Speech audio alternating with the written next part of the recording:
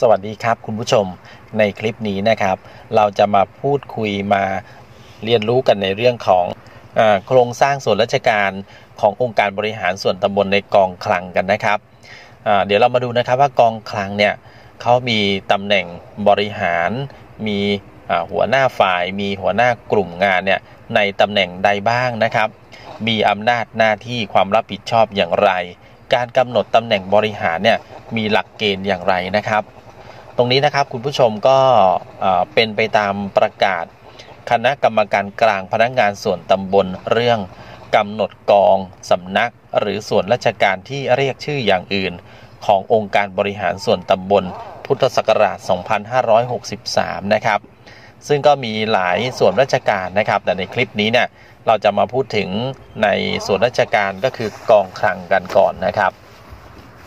ในส่วนราชการของกองคลังเนี่ย ก็จะมีนักบริหาร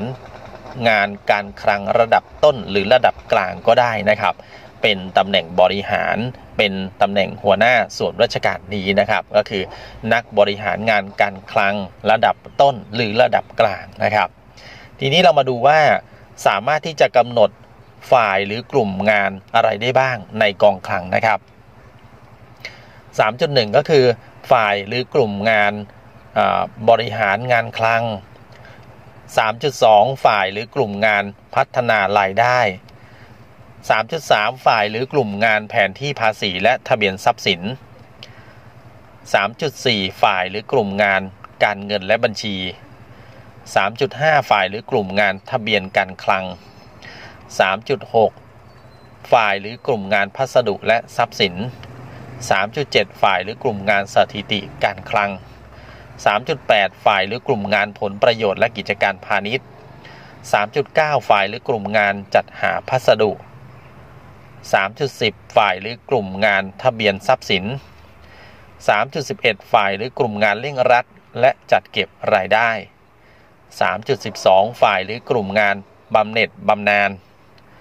3.13 ฝ่ายหรือกลุ่มงานบริหารสัญญา 3.14 ฝ่ายหรือกลุ่มงานบริหารงานทั่วไป นะครับ ในตำแหน่งที่ 3.1 ถึง 3.13 เนี่ยตำแหน่งถ้าเป็นหัวหน้าฝ่ายนะครับ ถ้าเป็นหัวหน้าฝ่ายเนี่ยเขากำหนดตำแหน่งบริหารเป็นตำแหน่งนักบริหารงานการคลังระดับต้นทั้งหมดเลยนะครับ เป็นตำแหน่งนักบริหารงานคลังระดับต้นทั้งหมดเลย ในตำแหน่งหัวหน้าฝ่ายนะครับ ทีนี้ใน 3.14 เนี่ย ฝ่ายหรือกลุ่มงานบริหารงานทั่วไปนะครับ ตำแหน่งบริหารก็จะเป็นตำแหน่งนักบริหารงานทั่วไประดับต้นเป็นหัวหน้าฝ่ายนะครับอ่าทีนี้ในตำแหน่งหัวหน้าฝ่ายเนี่ยก็จะเป็นนักบริหารงานนะครับ ทีนี้ถ้าเป็นหัวหน้ากลุ่มงานเนี่ยจะมีลักษณะอย่างไรนะครับ จะต้องใช้ตำแหน่งไหนในเป็นในการเป็นหัวหน้ากลุ่มงาน ก็คือกรณีถ้าเป็นกลุ่มงานเนี่ยเขาให้แต่งตั้งตำแหน่งในประเภทวิชาการนะครับ แต่ว่าจะต้องเป็นระดับชำนาญการพิเศษขึ้นไปนะครับ ระประเภทวิชาการระดับชำนาญการพิเศษขึ้นไปเนี่ยเป็นหัวหน้ากลุ่มงาน โดยจะต้องเป็นตำแหน่งที่สอดคล้องกับภารกิจของกลุ่มงานนั้นด้วยนะครับ เพราะฉะนั้นจะกำหนดเป็นฝ่ายเป็นกลุ่มงานก็ได้นะครับ ถ้าจะเป็นฝ่ายตำแหน่งหัวหน้าฝ่ายก็จะเป็นนักบริหารงานนะครับ ส่วนหัวหน้ากลุ่มงานเนี่ยก็จะเป็นประเภทวิชาการระดับชำนาญการพิเศษขึ้นไปนะครับ ทีนี้เรามาดูอำนาจหน้าที่ความรับผิดชอบของกองคลังกันบ้าง ว่ามีความรับผิดชอบอย่างไรนะครับ ก็มีหน้าที่ความรับผิดชอบเกี่ยวกับงาน การจ่ายเงิน การรับเงิน การจัดเก็บภาษี ค่าธรรมเนียม และการพัฒนารายได้ งานสรุปผล สถิติการจัดเก็บภาษี ค่าธรรมเนียม งานนำส่งเงิน งานเก็บรักษาเงิน และเอกสารทางการเงิน งานตรวจ งานการตรวจสอบใบสำคัญ ดีกาทุกประเภท งานการจัดทำบัญชี งานตรวจสอบบัญชีทุกประเภท งานเกี่ยวกับเงินเดือน ค่าจ้าง ค่าตอบแทน เงินบำเหน็จบำนาญและเงินอื่น ๆ งานจัดทำหรือช่วยจัดทำงบประมาณและเงินนอกงบประมาณ งานเกี่ยวกับสถานะการเงินการคลัง งานการจัดสรรเงินต่างๆ งานทะเบียนคุม เงินรายได้และรายจ่ายต่างๆ งานควบคุมการเบิกจ่ายเงิน งานทำงบทดลอง ประจำเดือนและประจำปี งานเกี่ยวกับการจัดซื้อจัดจ้าง จัดหา งานทะเบียนคุม งานจัดงานการจำหน่ายพัสดุครุพันธ์และทรัพย์สินต่างๆ งานเกี่ยวกับเงินประกันสัญญาทุกประเภท งานบริการข้อมูล สถิติ ช่วยเหลือให้คำแนะนำทางวิชาการด้านการเงิน การคลัง การบัญชี การพัสดุ และทรัพย์สินงานอื่น ๆ ที่เกี่ยวข้องและที่ได้รับมอบหมายนะครับทีนี้เรามาดูหมายเหตุนะครับ ในเรื่องของการกำหนดตำแหน่งและสายงาน ระดับตำแหน่งก็ให้เป็นไปตามประกาศ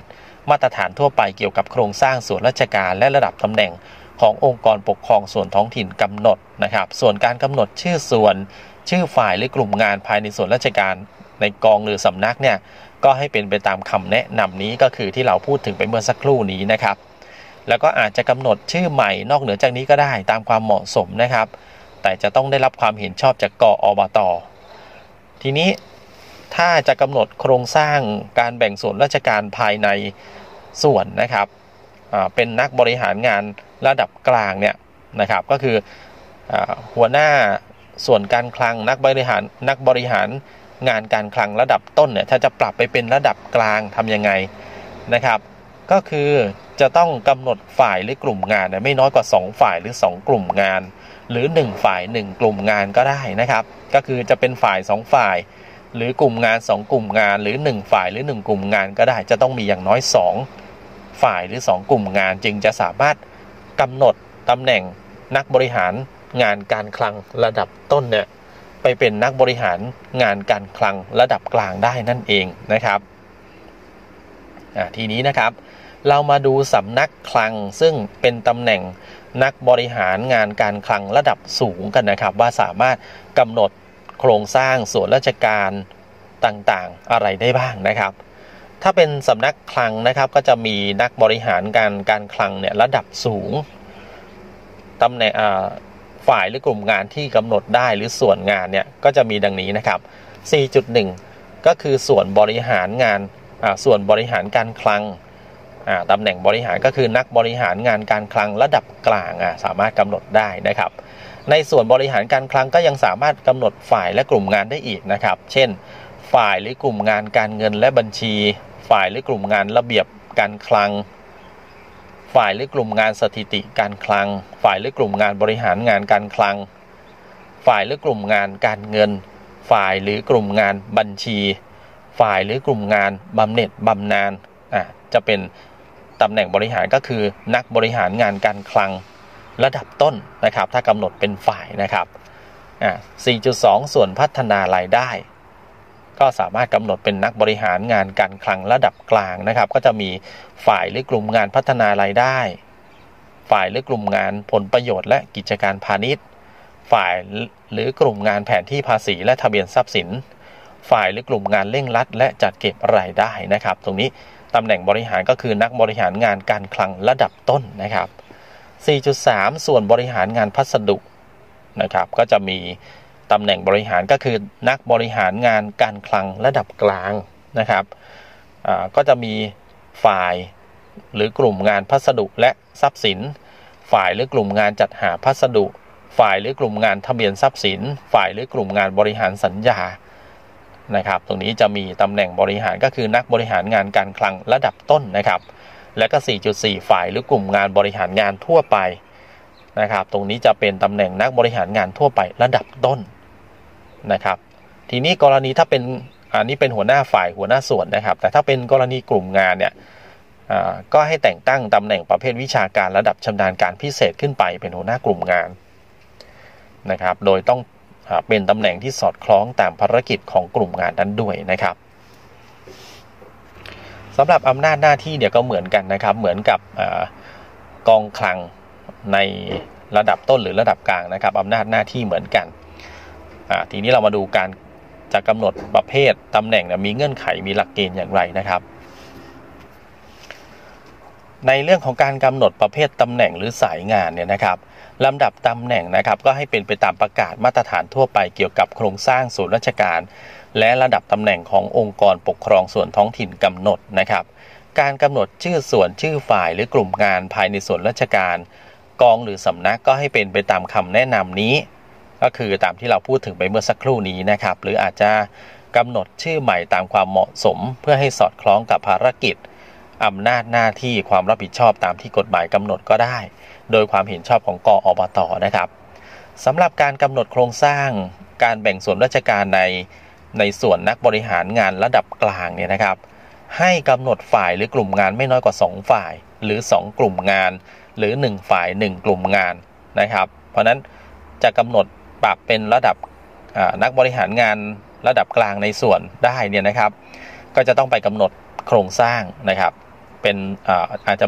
ต้องมีเพิ่มมา 2 ฝ่ายหรือ 2 กลุ่มงานก็ได้ หรือ 1 ฝ่ายหรือ1 1ฝ่ายหรือหนึ่งฝ่ายและ 1 กลุ่มงานก็ได้นะครับ จึงสสามารถที่จะ